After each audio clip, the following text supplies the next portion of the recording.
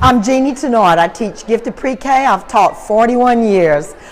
Best, Danny is the best presenter I have ever heard. I've heard a thousand. I've been to all the national gifted conferences. I have never laughed so much in my life, but more than that, I've never identified with everything that came out of his mouth so much as today.